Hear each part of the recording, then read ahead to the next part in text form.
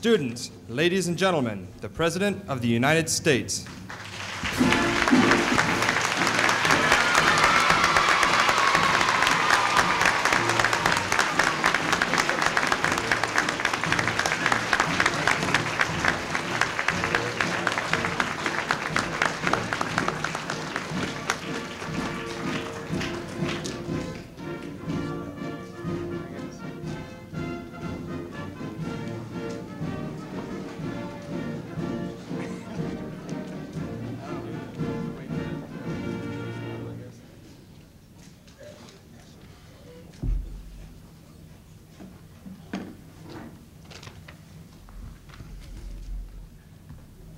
Mr. President, students, dais guests,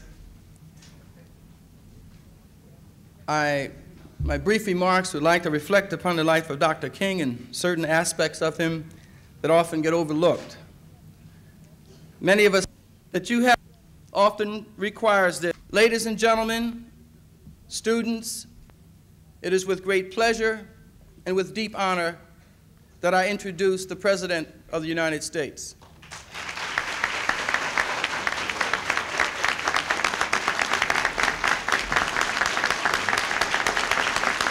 Thank you very much.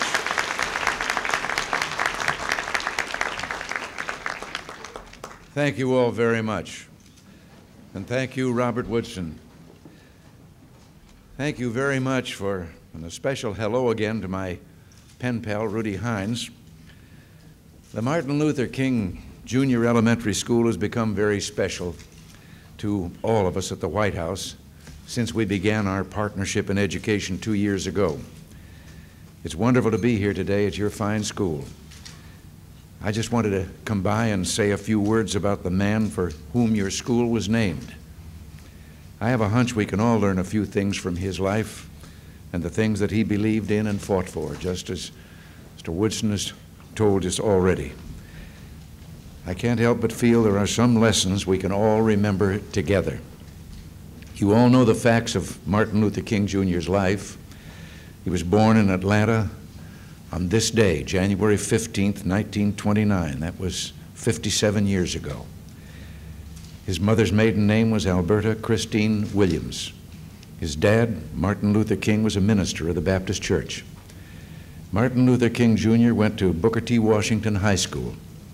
And then, as many of you will, I hope, he went on to college, to Morehouse College.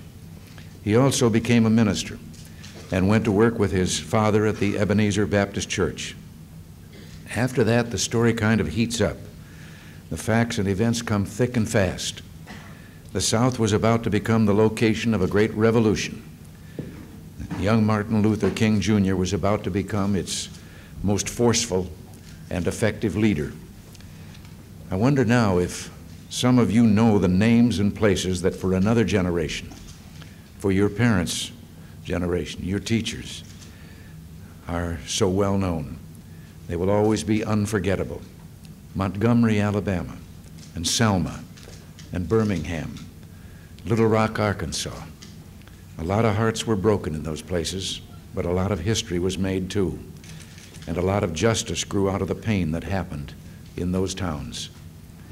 Montgomery is where a black woman named Rosa Parks refused to get up and give her seat to a white man on a bus. That was the beginning of the famous Montgomery bus boycott. Martin Luther King Jr. was one of its leaders. He and his followers just refused to take the city buses anywhere as long as blacks had to sit in the back. They just wouldn't accept it anymore. They said, enough. They walked everywhere. They'd walk for miles rather than take the bus. There was a phrase for what they were doing that was famous then. It was called peaceful protest, saying no in a peaceful way. And the protesters went to the courts, where one day in June, six months after the boycott began, a United States District Court made a ruling. They said that racial segregation on the city bus lines was unconstitutional. It was contrary to that great Constitution by which we all live in this country. Later, the Supreme Court, the highest, most important court in the whole country, would listen to similar cases and hand down more civil rights decisions. One big case was argued by a young lawyer picked by Dr. King himself. The young lawyer and another lawyer worked together without pay, and they won the case. And that young lawyer is my friend, Samuel Pierce, and I'm proud he's a member of our government as the Secretary of Housing and Urban Development.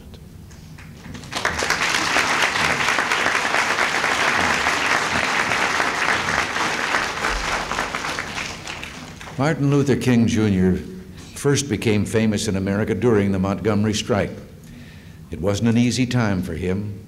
A bomb was thrown on the porch of his house, and it was only a matter of luck that no one was hurt. A crowd gathered, and the people were angry. And Dr. King came out and stood amid the broken glass and said some great words.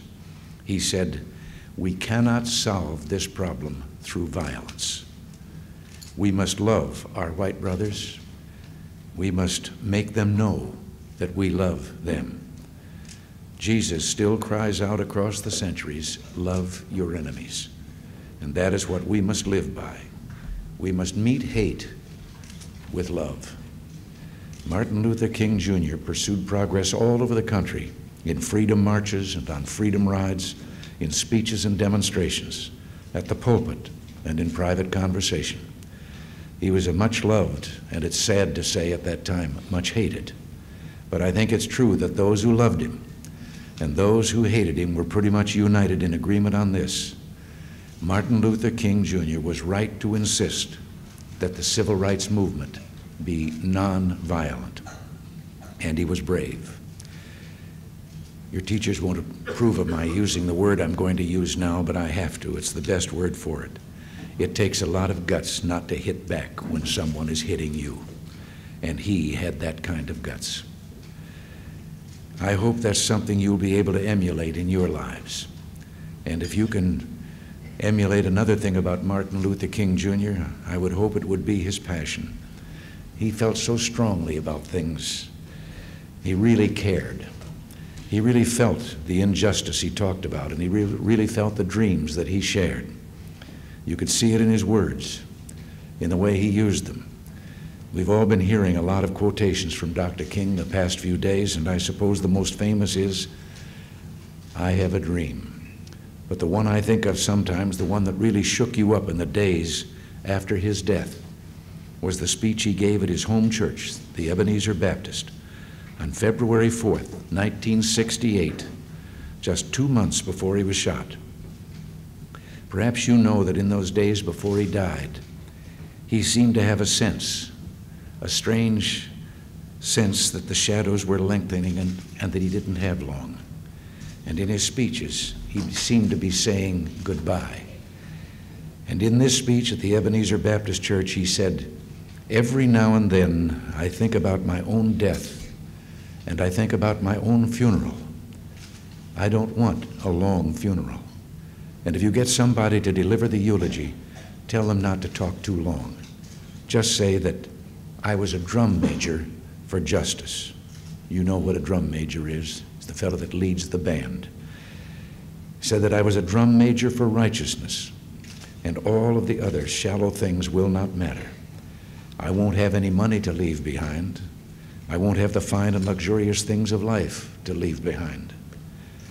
But I just want to leave a committed life behind. Well, those are great words. I want to leave a committed life behind. I want my life to have meaning. I want it to be a statement. That's a wonderful way to feel. In fact, I think it's the only way to feel. Our country is different and better because that was his attitude. And that's not just a phrase. Our country is different and better. That's a literal truth. Our country is different because Martin Luther King Jr. made it better by the way he lived his life.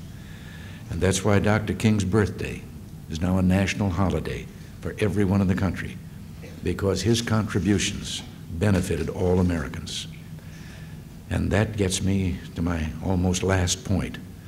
It's something I've been thinking a lot about recently, and I wanted to share it with you.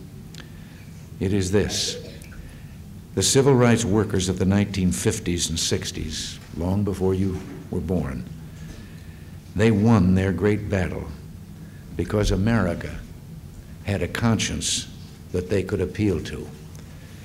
Now, you know what a conscience is. That's that thing that tells you the difference between right and wrong and that tries to get you to do right. And you know that bad feeling you get when you've done something wrong.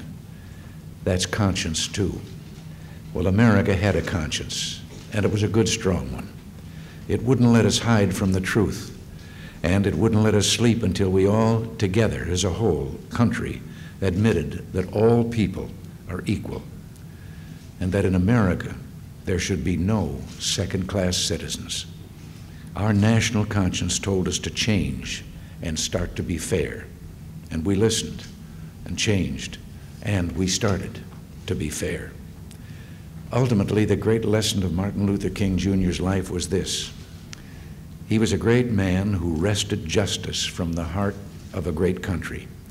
And he succeeded because that great country had a heart to be seized. Martin Luther King Jr. really helped make our nation freer. It's not a perfect place. We still have a long way to go. There's unfinished business, and we can't rest until all prejudice is gone forever. But we're a better, freer place, and now it's up to you as the future grown-ups of America to use that freedom to make to make a better life. And how do you make the best use of freedom? Well, you get a good education. When you get a good education, when you study hard and read your books and ask questions, then you can become anything. The outstanding men and women up here on the stage with me will all tell you that if you work hard, you can make a wonderful future for yourself you can have the most exciting job, travel all over the world, help your fellow man. And education is like a spaceship, it can take you anywhere. And you know what I hope? The dream I have for each of you is that one day in the future, when you're all grown up, you'll all come back here and visit on Martin Luther King Jr.'s birthday.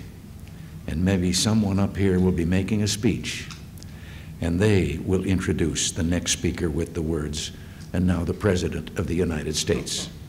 And they'll turn and they'll be pointing at you because you'll be the President. You think that's a good idea?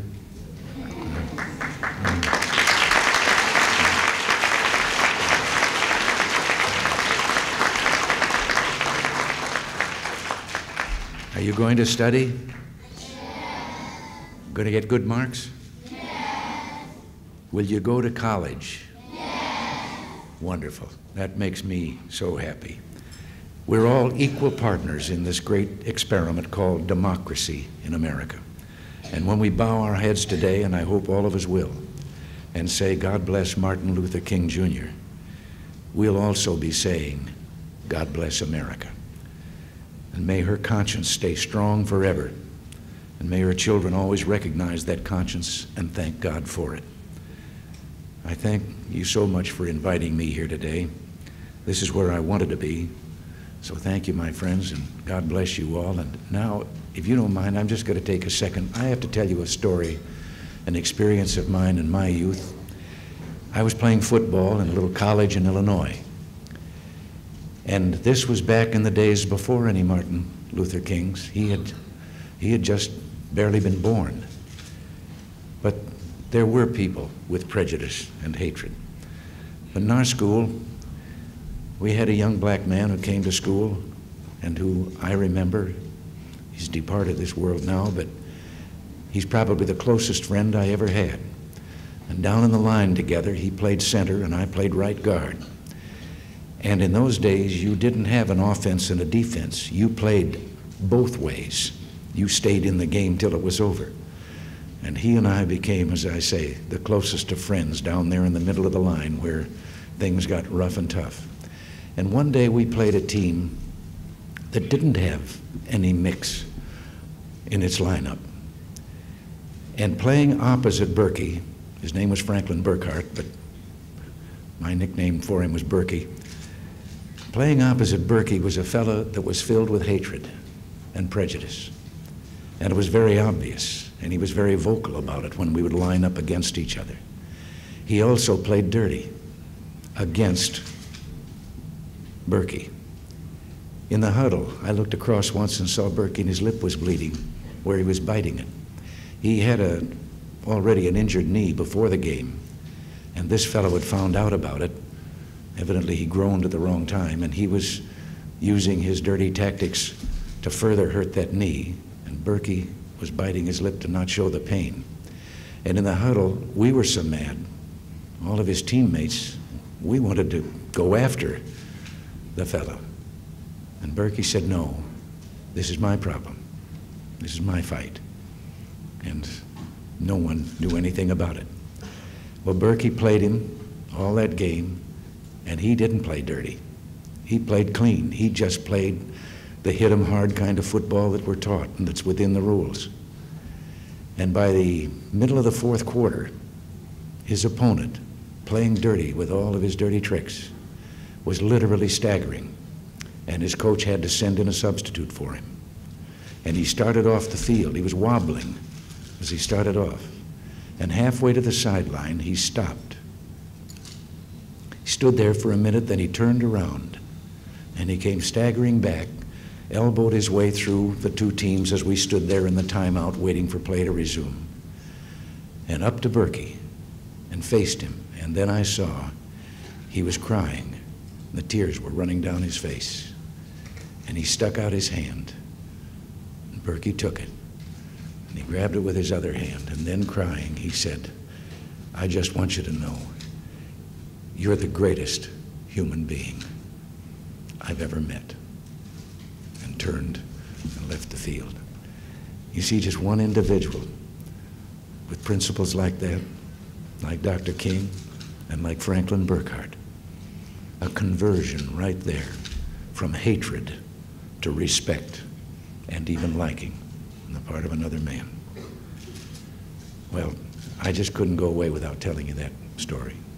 The world is so different today, and those of us who were a part of that revolution that Martin Luther King persuaded or per performed in, uh, all of us, we are so happy for what has happened, and so happy to see all of you here together in this different kind of an America. You keep it that way and keep making it better.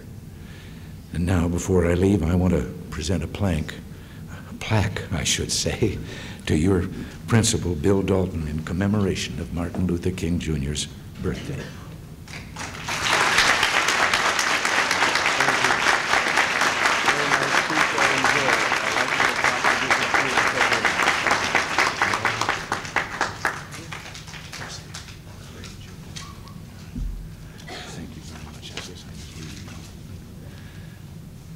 Thank you all again very much.